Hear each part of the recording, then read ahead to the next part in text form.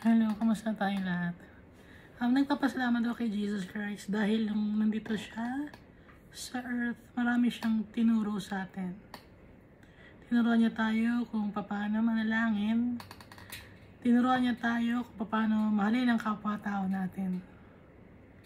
Tinuro niya tayo um, maging humble at um, ipinakilala niya sa atin si Almighty Father at ang Holy Spirit.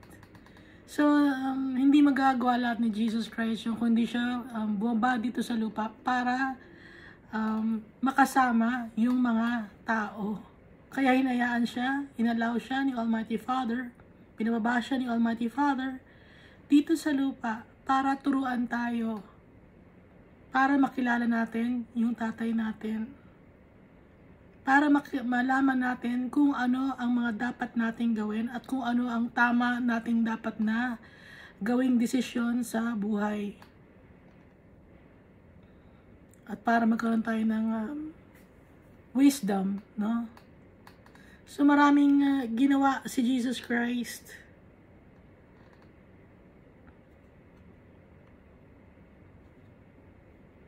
Kaya siya um, pinaba ni Almighty Father dito sa lupa.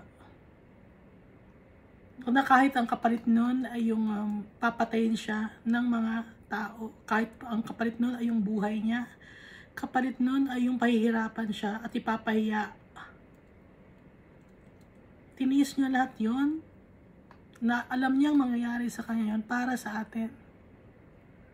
Dahil sa mahal niya tayo Ang basahin muna natin ano, itong um, John chapter 13 recap natin kasi um, last time nasa Luke tayo no. Pero dito na naman tayo, lilipat naman tayo sa John. So, gaya na ng banggit ko dati, magkaiba kasi ang mga nakalagay, yung mga testimony ni Matthew, ni Mark, ni Luke, at saka ni John. Iba-iba sila ng experience, iba-iba sila ng uh, mga aral na nakita nila na dapat na i-share para sa atin. Pero may mga bagay na magkakapareho, di ba? Pero meron ding pagkakaiba. Gaya itong uh, paghuhugas ng uh, paa, ni Jesus sa mga kanyang disciples. Ito sa John chapter 13. So, tinuruan niya tayo kung paano maging servant. Kung yung master natin nagugas ng paa ng mga servant or ng mga disciples niya or ng kanyang mga students, tayo rin magiging servant din tayo. Hindi tayo greater than our master. Sana lagi natin maintindihan yon. Lalo na yung mga Christian um, leaders, no? Na laging um, alalahanin na servant tayong lahat na kahit na mataas, nasa mataas silang posisyon sa kanilang congregation, servant pa rin na pwede nilang na dapat nilang paglingkuran kahit na ang mga pinakamababang um, tao sa society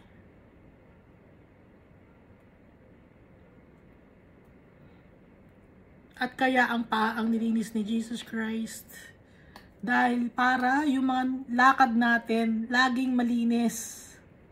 Yung paglalakad natin bilang isang Kristiyano, dapat na ayon sa uh, magandang gawain na gaya ng ginawa ni Jesus Christ. Yung um, lakad ni Jesus Christ dito sa lupa, yung path. No? Kaya paa ang nilinis ni Jesus Christ. Dahil yung um, katawan, yung ulo, malinis na. Yung paa na lang, yun yung future na gagawin ng mga disciples, yung paglalakad nila as followers of Christ kahit na nasa heaven na si Jesus Christ. Kaya hinugasan niya ng paa yung mga um, disciples. Kaya tayo, maglalakad din tayo ng malinis. No? Yung mga plano natin dapat malinis Yung, yung pag, paa sinisimbolize nito, yung mga plano natin, yung mga lakad natin. At kaya um, hinugasan ni Jesus kasi servant na tayong lahat. At dito sa um, John chapter 13, um, pinatungkulan din niya yung kanyang pagkamatay. No? Napapatayin siya ng mga um, tao, ibibigay siya sa tao. At ang magbebetray sa kanya, sinabi niya rin dito, yung um, kung man, yung binigyan niya ng tinapay na isinausaw niya sa dish, yun ang magbebetray sa kanya. So si Judas yon na ang uh, kapalit para i-betray niya si Jesus, bibigyan siya ng 30 pieces of silver ng mga um, high priest ng council sa Sanhedrin.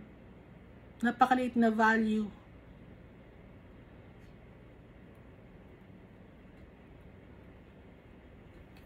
So dito pa lang no, um, nag um, kumakain sila ng uh, bread, tsaka uminom ng wine, sinabi ni Jesus, what you are about to do, do quickly. Kaya yung pagkain hindi niya natapos. Umalis agad si Judas. Nung kunin niya yung tinapay kay Jesus, umalis na agad siya. Gabi yon. Kasi nga, um, Passover meal or supper, last supper. At dito, um, binanggit din ni Jesus na i-deny siya ni Peter ng tatlong beses bago tumilawak ang manok. So dito na mamaalam na si Jesus Christ.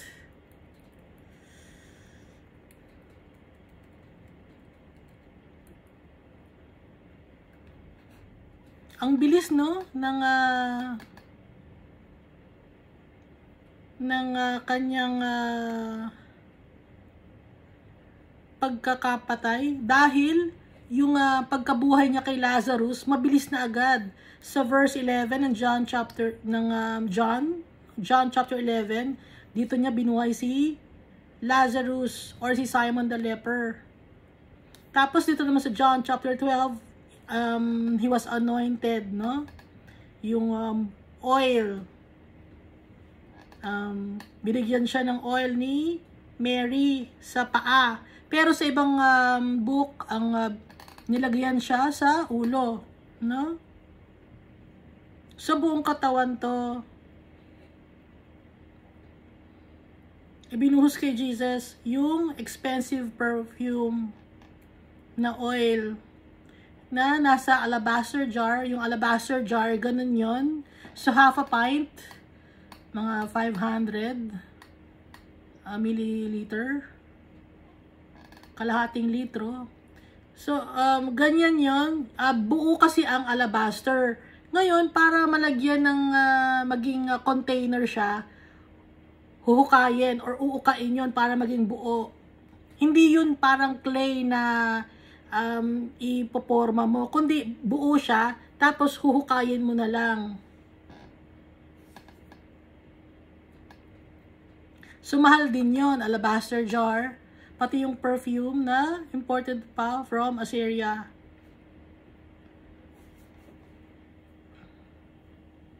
At si Judas dito, no, um, yung um, siya sa pera ng uh, pinambili ng oil or perfume na ibibuhos lang kay Jesus. So parang sabi niya, ibibuhos lang kay Jesus, sayang naman. Mukha kasi siyang pera. No? So, dito naman sa verse 13, namamaalam na si Jesus. So, verse 11, binuhay niya si Lazarus. Kaya, troubled siya nung binuhay niya si Lazarus. Kasi, yun na yung, um, yung, um, doon na magko-commence or mag start yung kanyang um, paghihirap paghihirap ng puso at isipan, yung stress niya, yung katawan niya, um, kumakabog yung dibdib niya dahil tao siya nung time na to. Alam niya kung anong mangyayari. Di ba ba pag kayo alam niyo kung anong mangyayari, anong nararamdaman ninyo? Ganon din si Jesus.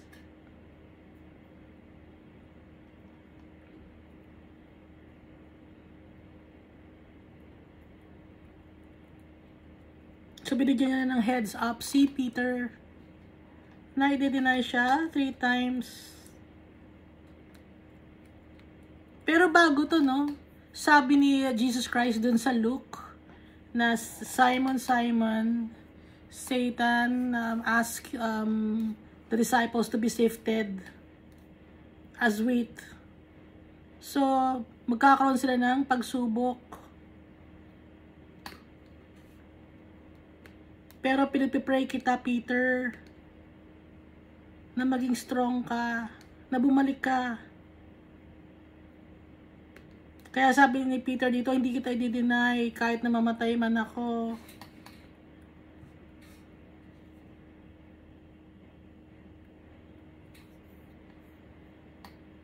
Pero alam naman natin na dininay pa rin niya si Jesus. Alam ni Jesus ang mangyayari.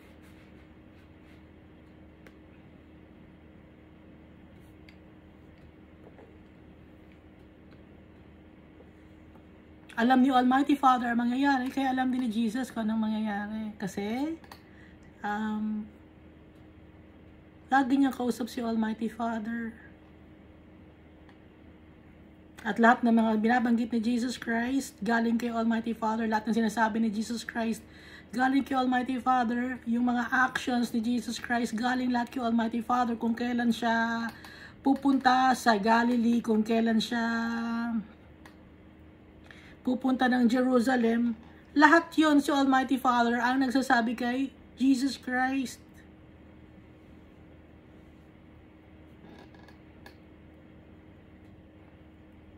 So dito tayo sa John chapter 14.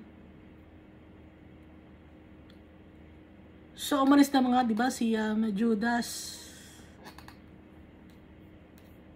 Kinakausap na niya yung mga tao sa Sanhedrin para kumakalap na siya ng mga soldiers para huliin si Jesus. Pero itong si Jesus, yung Diyos natin, at saka yung mga 11 disciples, nag-uusap-usap pa din.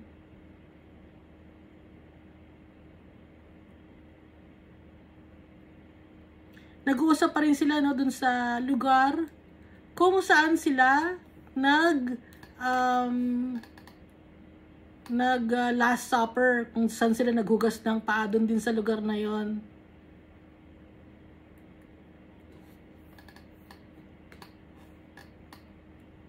So ito pa yung mga uh, additional na pinag-usapan nila na wala sa Matthew, wala sa Mark at wala sa Luke.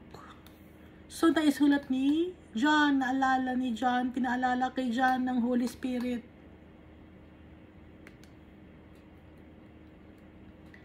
Do not let your hearts be troubled. Sabi ni Jesus, huwag kayong mangamba, huwag kayong matakot, huwag matakot yung puso ninyo, huwag kayong mag-isip ng kung ano-ano man. You believe in God. Believe also in me. Naniniwala kayo sa Diyos, kay Almighty Father, at maniwala rin kayo sa akin. My Father's house has many rooms. Dito sa verse 2. Dito sa ibang version, sa King James Version, In my father's house are many mansions.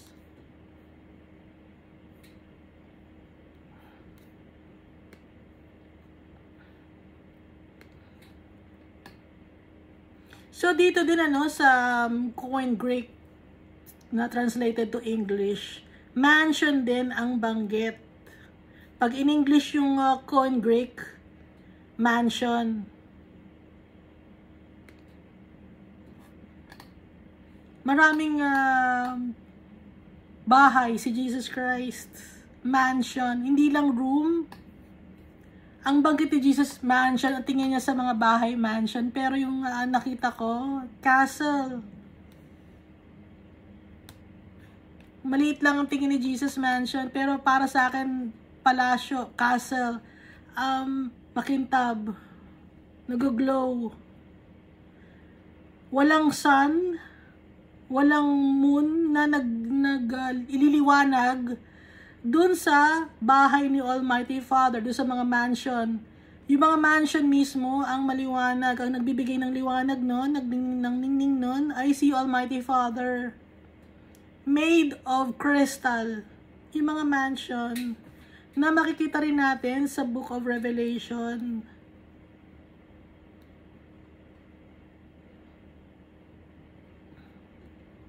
Yun yung tunay na bahay natin.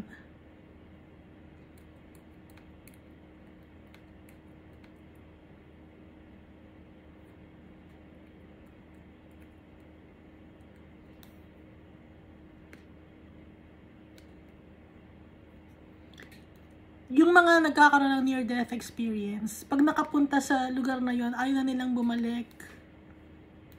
Pag nakapunta na sila ng heaven, nakita na nila yung mansion, ayaw na nilang bumalik. Pero uh, may mga oras na hindi pa nila time, kailangan nilang bumalik dito sa mundo. Pero pinapakita sa kanila ni Almighty Father kung ano ang madadatnan nila um, in heaven para rin yon sa um, para sa benefit natin, no?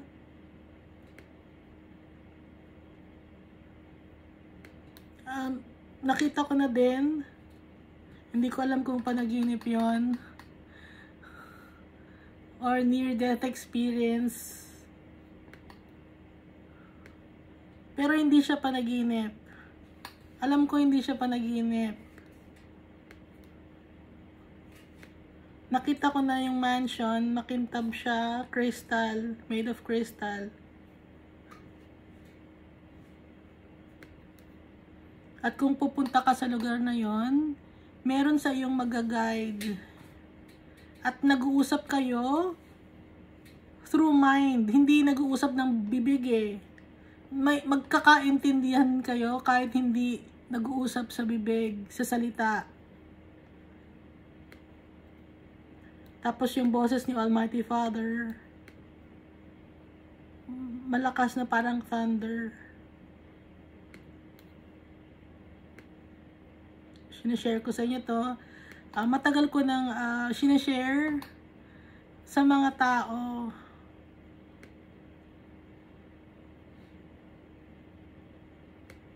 Kaya alam ko na totoo ito. Kaya alam ko na totoo na may prepare si Jesus na mansion para sa atin. Napakaganda. At kung uh, makakapunta ka sa lugar na yon, kung magkakaroon ka ng uh, near-death experience or vision, iba yung feeling. Yung masaya ka pag nagkapunta ka doon, ang saya-saya mo, na ito na yung bahay ko.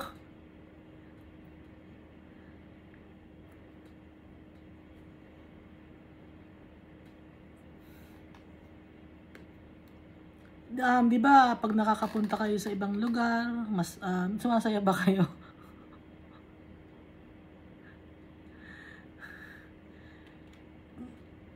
Hindi na ako sumasaya eh. Hindi na ako sumasaya pag nakapunta na ako sa mga lugar na magaganda. Kasi, na-experience ko na, nakita ko na yung mga bahay natin. At iba, yung um, peace and joy na naramdaman ko. Kumpara sa pag nakakapunta ka ng uh, ibang lugar,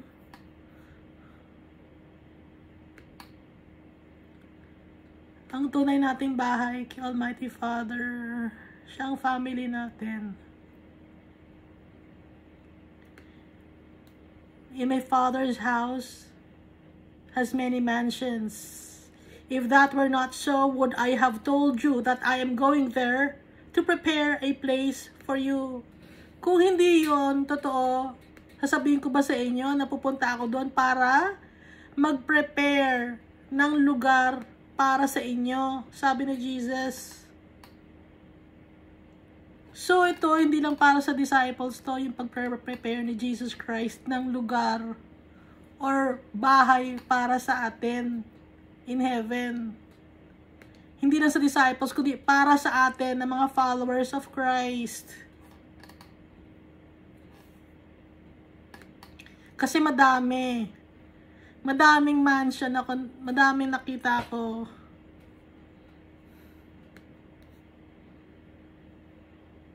Uh, may mga styles. Alam niyo yung styles? Parang castle na na crystal. And if I go and prepare a place for you, I'll come back and take you to be with me that you also may be where I am. Sabi ni Jesus, maghahanda ako ng lugar para sa inyo, bahay ninyo, mansion, dahil maraming mansion yung tatay ko. Sabi ni Jesus, ipe-prepare ko yon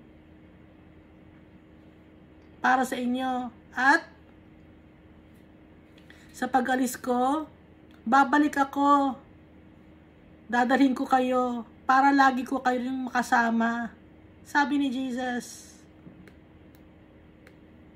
So lahat tayo na mga followers of Christ na nagtitiwala sa Kanya, nagmamahal sa Kanya, babalikan tayo ni Jesus Christ. Siya mismo ang tatanggap sa atin. Eh, hindi si hindi si San Pedro.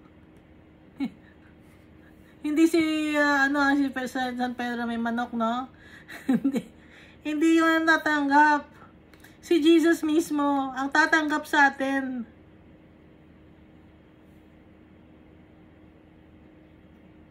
Invento lang yun ng mga tao na mahilig mag, mag, mag-invento. Si Jesus mismo ang tatanggap sa atin. Meron lang mag meron lang mag um, angel na mag-guide sa iyo papunta kay uh, Jesus tsaka kay Almighty Father. Kaya si Jesus ang magwe-welcome sa atin in heaven. You know the way to the place where I am going. Alam niyo ang daan kung saan ako pupunta. Alam niyo kung ang daan sa lugar kung saan ako pupunta, sabi ni Jesus. Thomas said to him, Lord, we don't know where you are going, so how can we know the way? Sabi ni Thomas, alam naman natin na si Thomas, uh, the Didymus, no? Or, sa bandang huli, the doubter, uh, kasi siya ay nagduda. Ngayon si Thomas, Lord, we don't know where you are going. Hindi namin alam kung saan ka pupunta, Lord. So, paano namin malalaman kung saan ang um, daan? Kung saan ka pupunta? Hindi namin alam kung saan ka pupunta. Jesus answered, I am the way and the truth and the life. No one comes to the Father except through me. Sabi ni Jesus, Ako ang daan ng katotohanan at ang buhay. Sabi ni Jesus, walang makakalapit or, or pupunta kay Almighty Father kung hindi siya dadaan sa akin. Sabi ni Jesus. Oh, alam nyo na ngayon, si Jesus lang, wala nang iba. Si Jesus lang ang way natin to the Father. Wala nang ibang mga santo pa na magiging way natin or iba pang mga tao at hindi yung um, at hindi si Mary ang magiging way natin through to the Father. Si Jesus Christ lang ang way to the Father. He is the only way.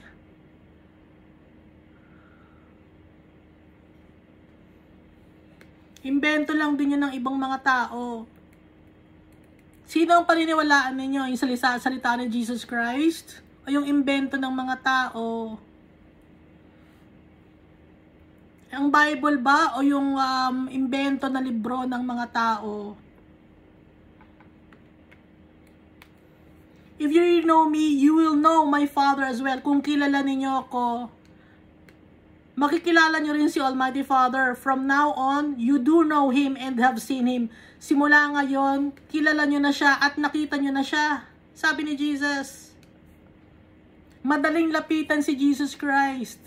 Hindi siya mainitin ang ulo gaya ng sinasabi or dinedepict ng iba sa kanilang mga leaflets or itinuturo ng iba na mahirap lapitan si Jesus dahil mainitan ang ulo. Nakikita ko eh, uh, nababasa ko na kailangan daw dadaan muna kay Mary kasi mainitin daw ang ulo ni Jesus Christ. Hindi totoo yon kasi nungalingan yon mapagmahal si Jesus Christ, buhay nga niya binigay niya eh. So bakit niyo sasabihin na mainitin ang ulo ni Jesus Christ? Ba't kayo nagsisinungaling? Nagsisinungaling kayo kasi sino ang namumuno sa inyo?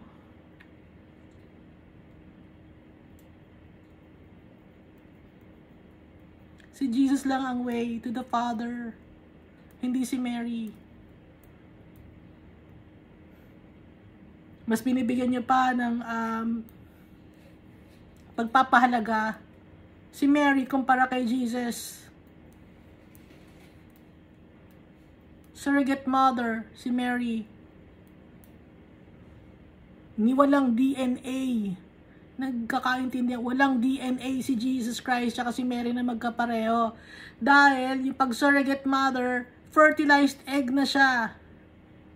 Hindi nagamit yung egg cell ni Mary.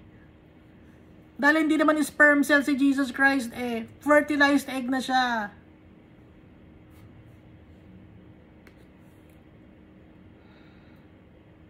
Kailangan talagang ano, idiretso sa inyo, no? Para maintindihan.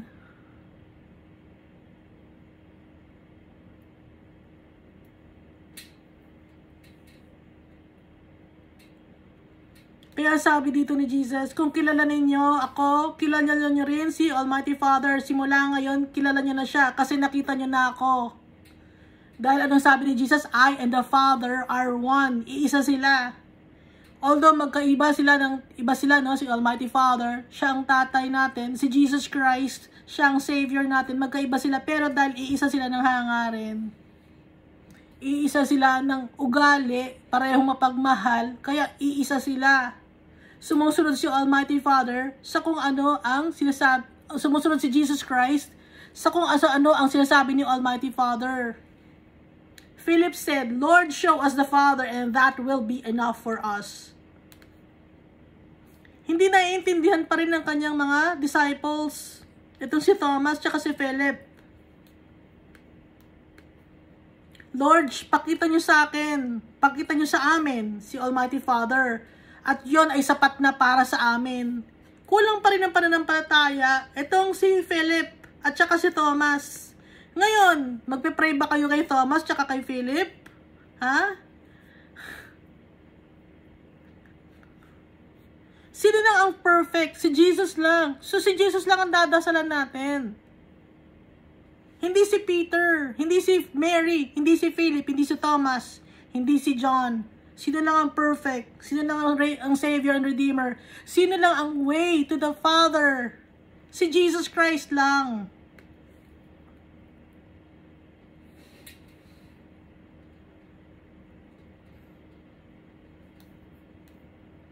Kaya nga sabi ni Philip, Lord, show us the Father and that will be enough for us. Ipakita niyo sa akin, ipakita niyo sa amin yung si Almighty Father para maging sapat na yun para sa amin. Anong sagot ni Jesus? Jesus answered, Don't you know me, Philip? Hindi mo ba ba rin ba ako kilala, Philip? Even after I have been among you such a long time, ang tagal-tagal na nating magkasama, Philip. Hindi mo pa rin ako nakikilala? Marami ng mga miracles na, na napakita, na may nabuhay ko na si Lazarus. Gusto, hindi, hindi din lang iniisa-isa ni Jesus, no? Nahihirapan yung mga tao maintindihan si Jesus may nahihirapan sila magkaroon ng pananampalataya kay Jesus. Hindi natin sila masisisig kasi nga yung physical appearance tumitingin ang mga tao.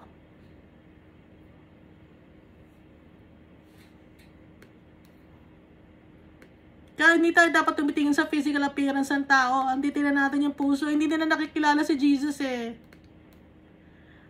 Hindi sa status ng isang tao. Dahil si Jesus carpenter siya, kaya nahihirapan sila. Carpenter, tao, hindi attractive, um, pangkaraniwan lang itsura, hindi ta, ba't ganito? Pero nagmimay, nagmimilagro. Kaya nagkakaroon sila ng um, nagtatalo yung isip nila at puso nila, yung mga disciples. Kaya sabi ni Jesus, Don't you know me, Philip? Hindi mo ba ako kilala, Philip? Even after I have been among you such a long time. Ilang years na sila magkakasama? Kung i, um, isa-sum up natin yung years na magkakasama sila, three years. Anyone who has seen me has seen the Father. Sabi ni Jesus, kung sino man ang nakakita sa akin, nakita na rin si Almighty Father. How can you say, show us the Father? Bakit mo sasabihin? Paano mo masasabi na show us the Father? Eh, kasakasama niyo na ako at kung sino man ang nakakita sa akin, nakakita na rin kay Almighty Father. Don't you believe that I am in the Father and that the Father is in me? Hindi ka ba naniniwala, Philip? Na si Almighty Father ay nasa sa akin. At si, um, ako ay na kay Almighty Father. Iisa sila ng hangarin, iisa sila ng puso, isa sila ng goal. Nung ginawa ang mundo na to, kasama na ni Almighty Father si Jesus Christ. Don't you believe that I am in the Father and the Father is in me? The words I say to you, I do not speak on my own authority. Yung mga bagay o salita na sinasabi ko sa iyo, hindi ko sinasabi yun dahil sa aking authority lang. Sabi ni Jesus, Rather, it is the Father living in me. Si Almighty Father na nakatira sa puso ko sa akin, who is doing His work. Si Almighty Father ang gumagawa ng lahat. Kaya may authority, may authority ako dahil si Almighty Father ay nasa akin. Kaya nakakapagsalita ako ng ganito. Yung uh, nakakapaggawa ako ng miracles. So si Jesus Christ, lahat, itinataas niya ang pangalan ni Almighty Father. Kaya mahal na mahal ni Almighty Father si Jesus Christ. Kapag kumaba si Jesus Christ, Lagi niyang nasa isip si Almighty Father na mapapurihan si Almighty Father na lahat ng kanyang mga um, apostles or disciples, ina-offer niya kay Almighty Father, lahat ng mga tao niya na sinashare niya ng good news ay para sa ikapupuri ng pangalan ni Almighty Father. Na kaya niya ibinigay ang kanyang buhay para sa atin, para kay Almighty Father yon para mapasaya si Almighty Father.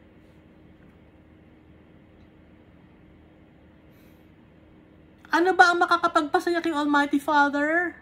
Tayo na makasama in heaven ni Almighty Father, tayo na mga anak niya, tayo na dapat susunod sa mga ipinag-uutos ni Almighty Father. Masaya si Almighty Father pag nakakabalik tayo sa Kanya, pag tinatawag natin siya. Kaya, si Jesus Christ, natutuwa siya pag masaya si Almighty Father. Kaya ibinigay niya ang buhay niya para mapasaya si Almighty Father. At at the same time, mahal niya rin tayo. Mahal din tayo ni Jesus Christ.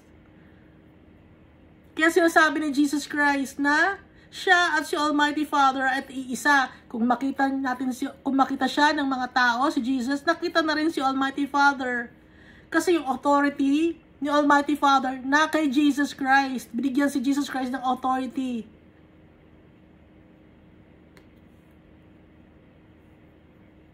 Rather, it is the Father living in me who is doing His work. Believe me when I say that I am in the Father and the Father is in me, or at least believe on the evidence of the works themselves.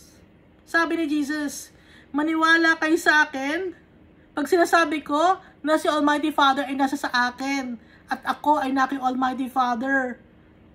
O kaya naman, maniwala kayo dun sa ebidensya ng mga trabaho na nakita ninyo yung mga miracles.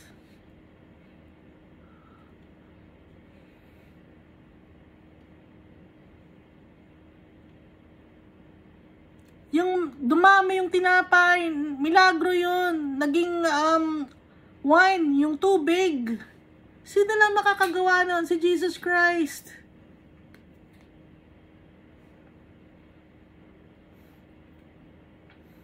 So, sino pa ba ang sasambahin natin? Di si Jesus Christ. So, bakit naghahanap pa tayo ng ibang tao na sasambahin?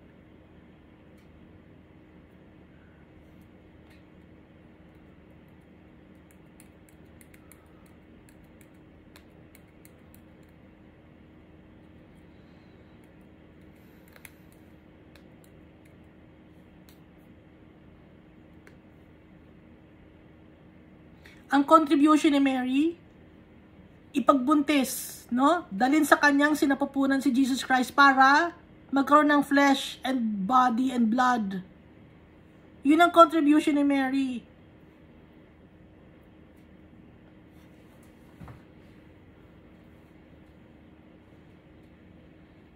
Yun ang kanyang mission. Hindi mission ni Mary ang magpatawad ng kasalanan. Wala siyang uh, power to forgive sins si Mary.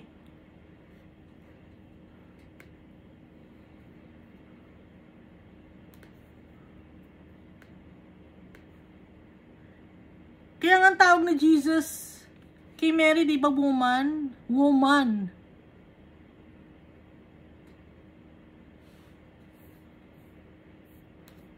Kaya Jesus Christ lang.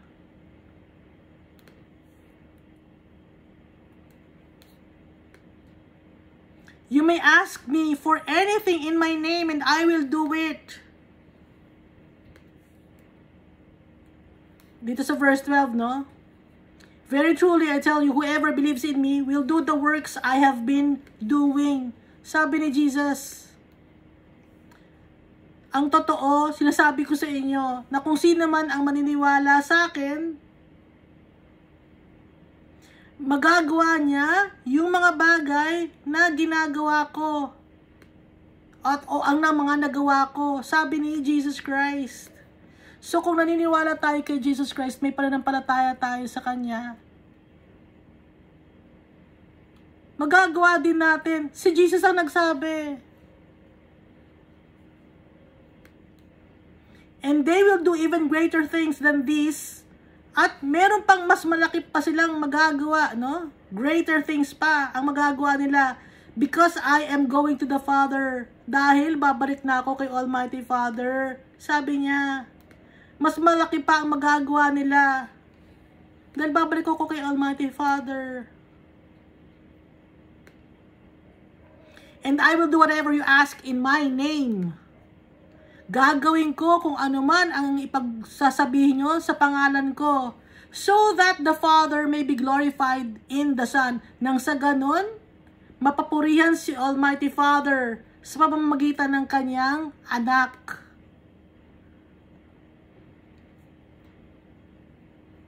So, ang binabanggit ni um, Jesus Christ dito, si Almighty Father lang.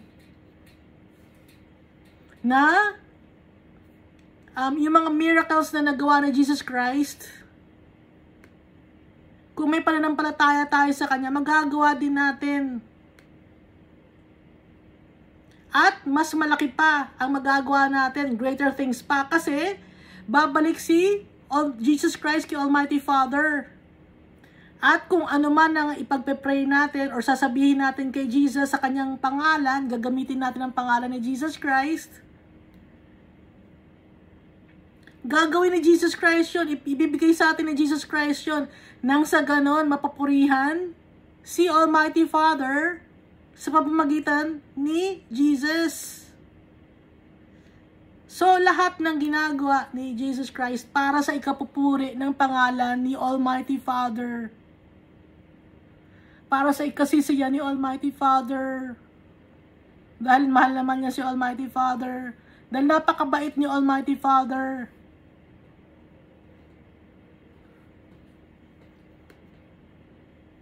You may ask me for anything in my name and I will do it.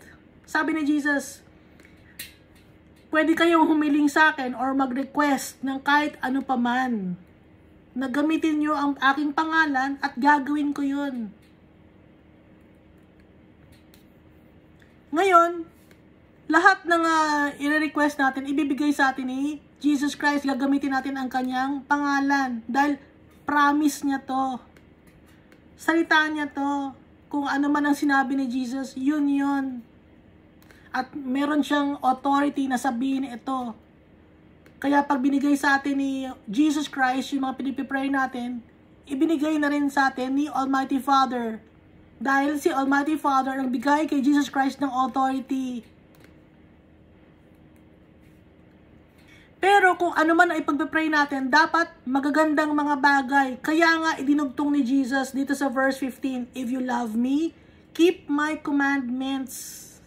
Dahil lahat, dapat lahat ng mga um, ipagpe-pray natin, yung mga request natin kay Jesus Christ, with love, hindi yung um, uh, susumpain ninyo yung tao or magre-request kayo na Lord sana um, mamatay na yung tao. Hindi ganon. Hindi ganon si Jesus Christ. Kaya nga dapat if you love me, kaya nga idinugtong ni Jesus, if you love me, keep my commandments, sundin ninyo yung mga ipinag-uutos ko kung mahal ninyo ako. Ano ba yung mga commandments ni Jesus? Mahalin si Almighty Father. Um, first of all, no? At mahalin na ang kapwa na tao natin. So, pag ginawa natin yon um, siguro tahimik ang mundo, di ba? ha? Tahimik ang mundo pag ginawa natin yan. Um, lahat tayo nagmamahalan, um, walang nagnanakawan, walang nag-aabuso, walang uh, mamamatay, walang nagpapatayan dahil nagmamahalan ng mga tao. Kung sinunod lang natin sana yung pinagutos ni Jesus, pero hindi natin sinusunod, di ba? Kaya ngayon, ang dami mga patayan, may mga war, may mga nagchichismisan sa internet or sa uh, in real life, may nagchichismisan, nagkakaroon ng awayan, kasi nga, hindi natin sinusunod. And I will ask the Father, and He will give you another advocate, or another helper, or another comforter to help you and be with you forever. So sabi ni Jesus, tandaan natin yung mga commandments niya, kung mahal natin siya, yung mga pinag-uutos niya, at saka um, sasabihin niya kay Almighty Father na padalhan tayo ng isa pang tagatulong na magko-comfort sa atin para matulungan tayo at lagi nating makakasama ng matagal na panahon forever. Ano yon or sino yon? The Spirit of Truth. Okay? Ang Holy Spirit na ipapadala rin ni Jesus Christ para sa atin. The world cannot accept Him. So, um, Him ang uh, nakalagay dito, no? Dito sa King James Version, Him din. Tingnan natin sa Coin Greek, no?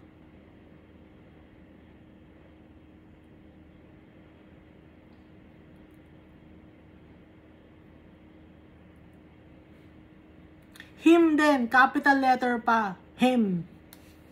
So,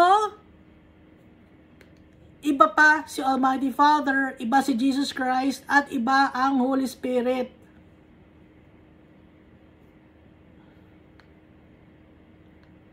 So, si Almighty Father, pinadala niya si Jesus Christ. Ngayon, si Jesus Christ naman, i-request niya kay Almighty Father na ipadala sa atin ang Holy Spirit.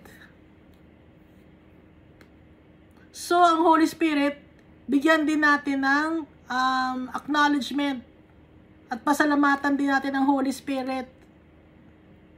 At papurihan din natin ng Holy Spirit dahil Diyos din siya. Um, kaya hindi ako makasama dun sa isang um, nakita ko na Christian um, group. Kasi hindi nila um, hindi nila sinasabi na God din ang Holy Spirit. Kaya hindi matanggap ng mundo ang Holy Spirit kasi hindi siya nakikita. Ulitin ko no, the Spirit of Truth, the world cannot accept Him because it neither sees Him nor knows Him. Hindi siya nakikita at hindi siya kilala, yung Holy Spirit. But you know Him, for He lives with you and will be in you. Pero makikilala ninyo siya, or kilala ninyo siya, kasi mananahan siya sa inyo. At lagi siyang nasa inyo. Ang Holy Spirit. So yung Holy Spirit, siya ang nagko-comfort sa atin, siya ang nagpapaalala sa atin. Siya ang nananahan din sa puso natin. Gaya ni Jesus Christ at yung Almighty, at yung Almighty Father. So tulong-tulong sila para lang sa atin na makapunta tayo sa ating tunay na bahay. Powerful, Almighty Father, si Jesus Christ at ang Holy Spirit, ano lang, nasa sa atin na lang yon no? Kung ano ang gagawin natin. Dahil may free will tayo eh. May desisyon tayong sarili.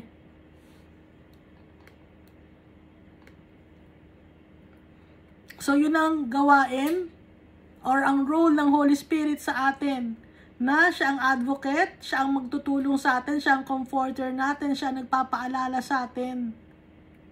Hindi ba natin siya nakikita? Pero alam natin dahil siya ay nananahan sa atin gaya ni Jesus Christ siya ni Almighty Father. In heaven, si Almighty Father, makikita natin si Jesus Christ. Makikita rin natin ang Holy Spirit. Um, para lang siyang uh, mist or water. Basta, spirit siya eh. Okay? Pero si Almighty Father, makikita natin tsaka si Jesus Christ.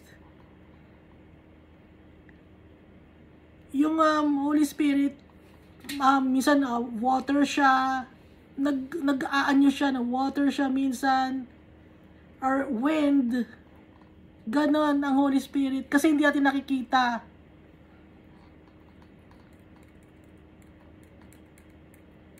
Pero holy ang Holy Spirit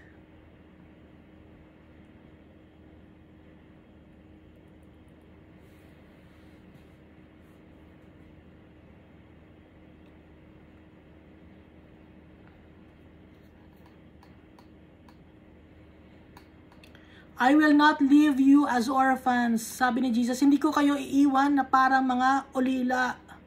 I will come to you, babalikan ko kayo before long. The world will not see me. Darating ang oras, hindi na ako makikita ng mundo. Sabi ni Jesus, dahil nga, papatayin na siya. At, pag pinatay na siya, after three days, magpapakita siya ng mga sandaling um, panahon lang sa kanyang mga disciples. Tapos, pupunta na siya in heaven. Kaya hindi na natin siya makikita. So ngayon nasa heaven si Jesus Christ pero nananahan siya sa puso natin at kasakasama natin um, si Almighty Father at ang Holy Spirit.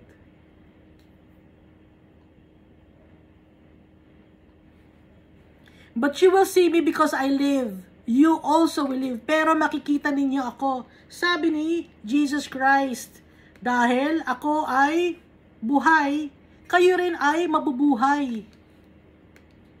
On that day, you will realize that I am in my Father and you are in me and I am in you. Sa oras na yon, ma, uh, may isip ninyo na ako ay na kay Almighty Father at kayo ay nasa akin at ako ay nasa inyo. Sabi ni Jesus, Whoever has my commands and keeps them in the one who loves me, the one who loves me will be loved by my Father, and I too will love them and show myself to them. Kung sino man ang uh,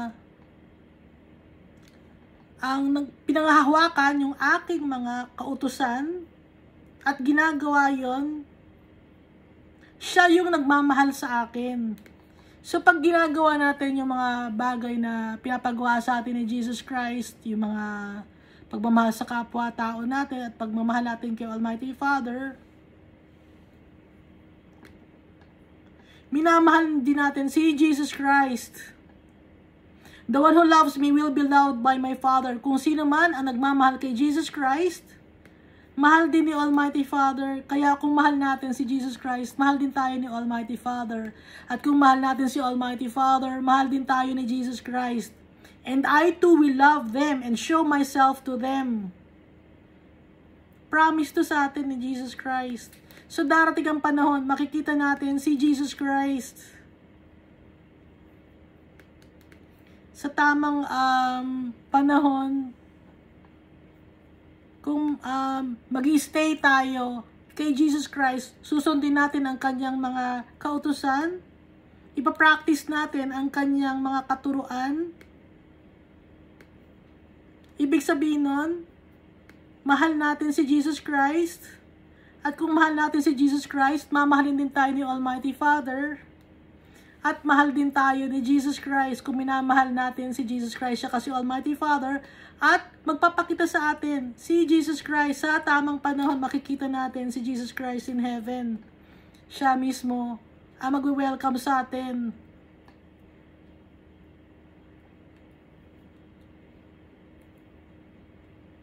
Then Judas not Judas Iscariot. Ito si Jude no? Si Jude Thaddeus said but Lord Why do you intend to show yourself to us and not to the world? Sabi ni Judah, Judah Thaddeus, Pero Lord, bakit ikaw magpapakita sa amin at hindi sa buong mundo? Anong sagot ni Jesus? Jesus replied, Anyone who loves me will obey my teaching. Kung sino man ang nagmamahal sa akin, susundin niya yung aking mga kautusan or ang aking mga katuruan. My Father will love them and we will come to them and make our home with them. Magiging family tayo ni Jesus Christ. Kaya, hindi siya sa buong mundo nagpapakita, kundi nagpapakita lang siya sa mga tao nagmamahal sa Kanya na itinuturing siyang um, importante. Dahil pag uh, ginagawa natin ang kautosan ni Jesus Christ, yung uh, teachings niya, pinapractice natin, nagmamahal tayo sa kapwa-tao natin, mahal tayo ni Almighty Father, magiging family tayo, kapamilya tayo, in heaven. Kaya mag, uh, kaya nga merong mansion si Jesus Christ na prepare para sa atin dahil family ang turing niya sa atin. Kung mamahalin natin si Jesus Christ siya kasi Almighty Father. Anyone who does not love me will not obey my teaching. Kung sino man ang hindi nagmamahal sa akin, hindi niya susundin yung aking mga katuruan. These words you hear are not my own. They belong to the Father who sent me. Itong mga sinasabi ko sa inyo to, na mga salita, hindi sa aking salita to, kundi galing itong mga salita nito kay Almighty Father na nagpadala sa akin. So lahat ng sinasabi ni Jesus Christ galing kay Almighty Father. So family, ang turing sa atin ni Jesus Christ, kung minamahal natin siya at um, pinapractice natin yung mga turo niya, yung mga commands niya.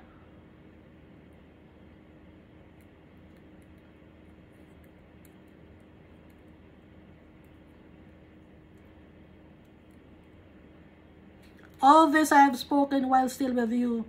Ito lahat ng ito ay sinasabi ko sa inyo to habang kasakasama ninyo ako. Sabi ni Jesus. Habang nandito ako sa mundo, sinasabi ko sa inyo to. But the advocate, the Holy Spirit, whom the Father will send in my name, will teach you all things and will remind you of everything I have said to you.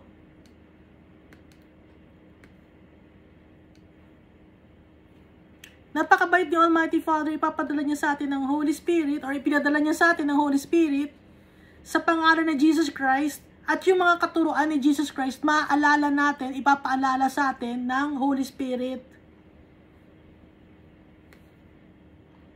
Kaya pag nagkakasala tayo or nakakalimot tayo, uh, may nagsasabi sa atin, di ba, na mag-pray ka na, um, mali mo yung kapwa-tao mo, hindi tama yung ginagawa mo, hindi naayon sa kagustuhan ni Almighty Father at ni Jesus.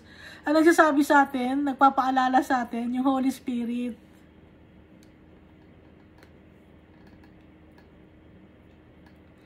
Kaya hindi niya tayo iniwan na mga ulila kasi may mga may kasama tayo ang Holy Spirit at si Jesus Christ na nanahan sa puso natin.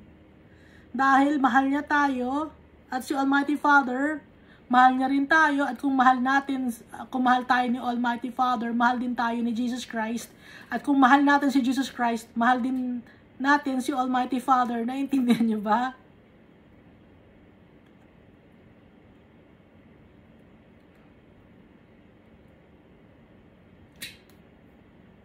Peace I live with you, my peace I give you.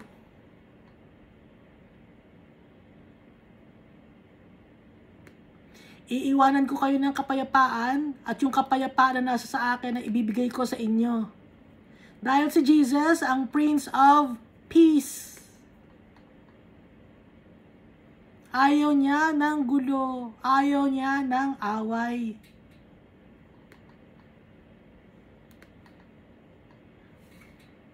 Ayaw niya ng uh, pagkakabaha-bahagi. Gusto ni Jesus Christ, tsaka ni Almighty Father, tayong lahat ng mga Christians, magkaisa tayo.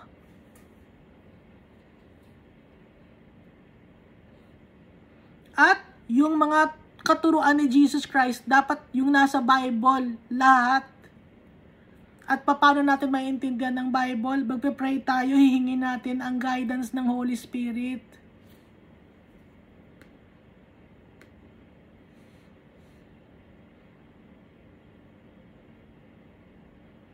So, sinabi dito ni Jesus na, Peace I leave you, iiwan ko kayo ng kapayapaan, at yung kapayapaan ko ang ibibigay ko sa inyo. I do not give you, I do not give to you as the world gives. Hindi ko sa inyo ibibigay kung ano man ang binibigay ng mundo. Dahil ang mundong ito, ang binibigay sa atin ay kaguluhan. Puro away, puro inggitan, puro swapangan greediness, hindi ganun ang bibigay ni Jesus Christ, kundi puro kapayapaan ang bibigay ni Jesus Christ. May pagmamahal. Ang na kay Jesus Christ. Do not let your hearts be troubled. Huwag kayong malungkot. Huwag kayong mag-alala. And do not be afraid at huwag kayong matakot. Dahil nung time na to, namamaalam si Jesus, malungkot ang kanyang mga disciples. Nagugulon sila paano na ang mangyayari sa kanila kung aalis si Jesus Christ. Magkakalat, magkakalat-kalat ba sila? Ano na ang mangyayari? Nag-iisip sila, kaya sinabi ni Jesus Christ, huwag kayong mag maguluhan, huwag kayong matakot. Dahil kaya naman sila nagkakasama-sama, yung mga disciples, is because of Jesus Christ. You heard me say, I am going away and I am coming back to you. Sabi ni Jesus Christ. Nadidig niyo ako na sinabi ko, aalis ako, pero babalik ako sa inyo. Sabi ni Jesus, If you loved me, you would be glad that I am going to the Father, for the Father is greater than I. Kung mahal ninyo ako, Matutuwa kayo dahil pupunta ako kay Almighty Father kasi si Almighty Father ay mas higit kaysa sa akin. Sabi ni Jesus Christ. Kasi nga nalulungkot dito yung mga um, disciples niya, nagiiyakan na sila. Kung yung ba, kung kayo mo na may taong nagpapaalam sa inyo na um, hindi, hindi na babalik. Di ba nalulungkot kayo, nagiiyakan? Ganon din. Yung mga disciples. At si Jesus Christ, malungkot din siya. Pero, iniisip niya yung kapakanan natin. Iniisip niya si Almighty Father.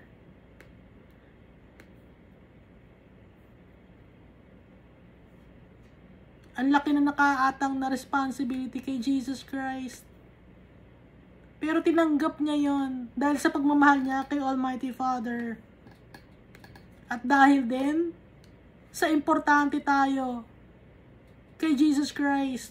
Gusto niya tayong matuto. Gusto niya tayong turuan. Gusto niya tayong mapalapit kay Almighty Father. I have told you now before it happens so that when it does happen, you will believe. Sinasabi ko sa inyo, ngayon pa lang, bago pa man mangyari, nang sa ganon, pag nangyari na yon, kayo ay maniwala. Sabi ni Jesus, sa verse 30, I will not say much more to you.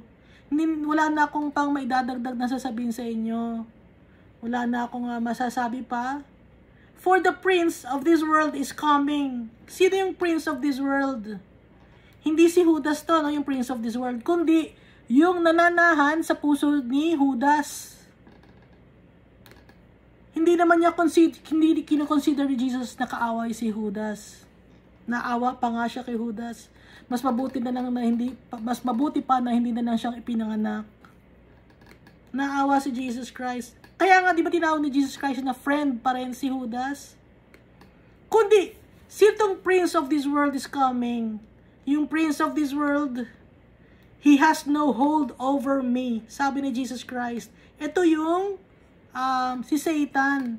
Dahil, si, sa, dahil uh, hinayaan ni Judas Iscariot na um, kainin siya ng inggit, ng galit, kainin siya ng material things para i-betray si Jesus Christ.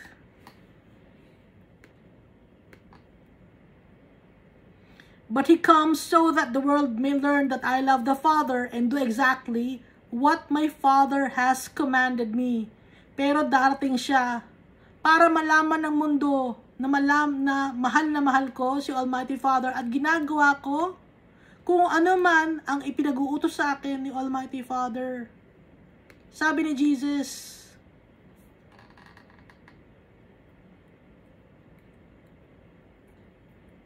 Masunurin si Jesus Christ kay Almighty Father. Nirespeto niya si Almighty Father dahil mahal na mahal niya. So, in-expect tayo din ni Jesus Christ na mamahalin din natin si Almighty Father. Irerespeto rin natin si Almighty Father. Gaya ng pagmamahal ni Jesus Christ kay Almighty Father. Kaya tinuruan tayo ni Jesus Christ. At si Almighty Father naman, itinaas naman niya si Jesus Christ. Dahil natutuwa siya kay Jesus Christ. Mahal naman niya si Jesus Christ dahil ibinigay ni Jesus Christ ang kanyang sarili. Hinayaan niyang uh, masaktan siya ng mga tao, pagdaanan yung mga napakatinding pagsubok sa buhay niya para lang mailigtas tayo. Come now, let us live. Sabi ni Jesus, umalis na tayo. So dito no, nung nagsabi ni Jesus na come now, let us leave, nagpunta na sila sa um Gethsemane. Magpe-pray si Jesus sa Gethsemane. Garden of Gethsemane.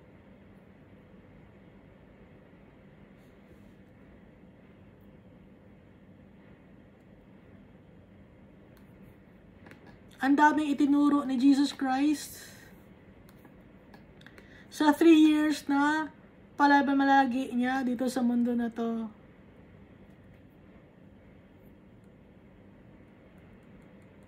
Pero yung mga miracles na ginawa niya, hindi kaya na isulat sa Bible sa sobrang dami. Kukulangin kukulangin ang uh, kukulangin ang paper, kukulangin lahat sa mga kung iisa-isahin pa yung mga ginawa ni Jesus, yung mga sinabi pa ni Jesus, kukulangin. Kaya magpasalamat tayo kay Jesus. Dahil um, mahal niya si Almighty Father. Ipinadala niya ang Holy Spirit sa atin. At hindi niya tayo nalilimutan kailanman. Dahil tayo yung mga tao na makasalanan, na kaya niya binigay ang buhay niya para ma-save tayo. At si Jesus Christ mismo ang sasalubong sa atin.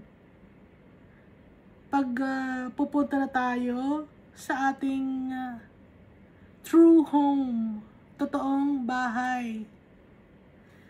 Makikita natin ang ating totoong pamilya, si Almighty Father, tsaka si Jesus Christ.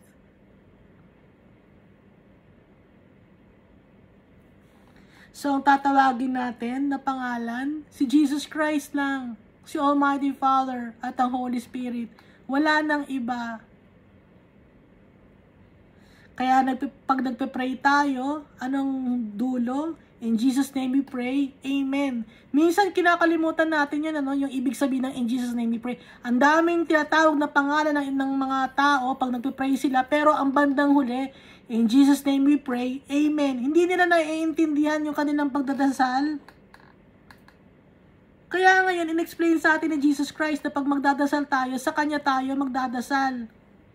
At lahat ng mga hinihiling natin ibibigay ni Jesus Christ. Pero dapat yung mga inihiling natin ay nasa under sa command ni Jesus Christ na nandun pa rin yung pagmamahal kay Almighty Father at pagmamahal sa kapwa-tao natin.